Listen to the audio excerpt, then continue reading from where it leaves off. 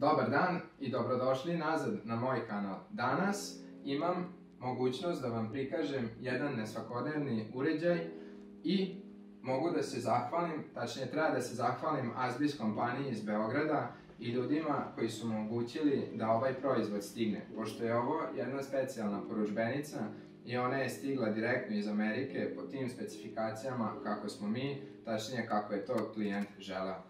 U ovom kratkom video prikazu ću vam otpakovati ovu kutiju, prikopčat ću uređaj, pokazat ću vam, ispričat ću vam neke moje utiske o njemu i eto, nadam se da će vam biti interesantno.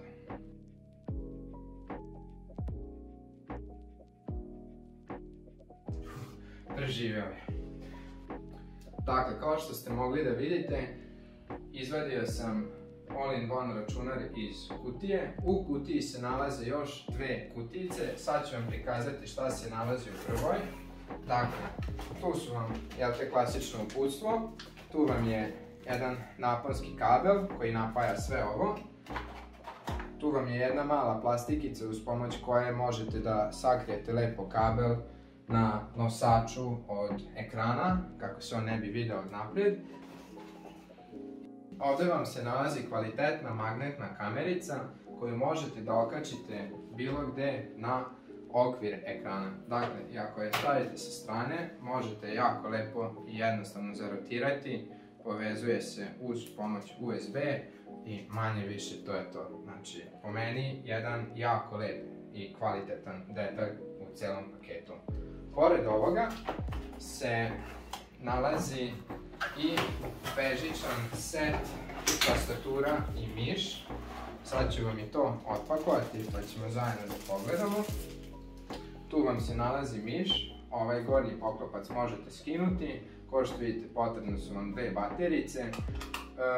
Ako mene pitate, iskreno, miš kao miš je ok, dobar je, ali nije neki wow, ultra kvalitet. Uh, baterice su tu u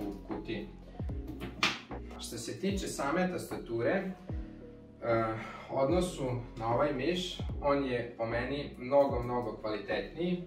Dakle, i tastaturica se napaja uz pomoć dve baterije i baterije samo stavite ovde. To je to. Sve u svemu, kada pogledamo ceo paket, e, boje se uklapaju tako da ko voli ovakve tastaturice i ovakav miš, ovo će ići sve lepo u paketu. Računar stiže sa preinstaliranim Windows 11, vama samo preostaje da podesite osnovne stvari i računar je spreman za rad kao što možete vidjeti.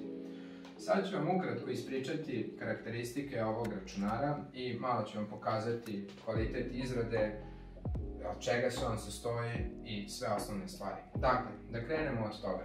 Imamo i9 11. generacije, tačnije 11900.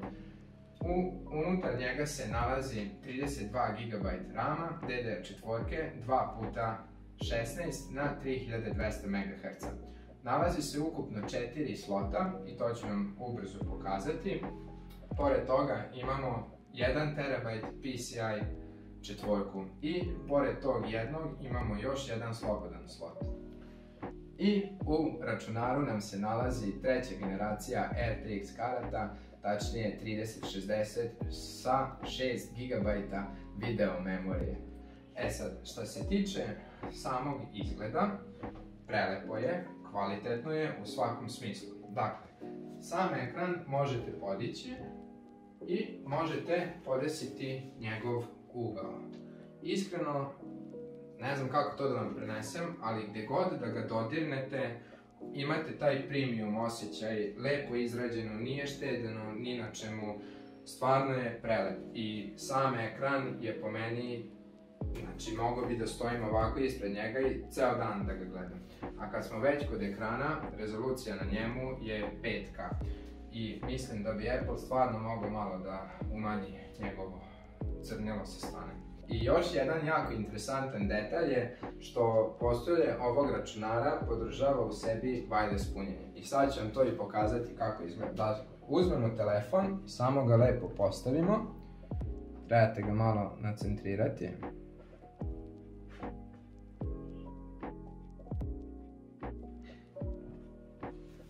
eto ga, kao što vidite, telefon se puni.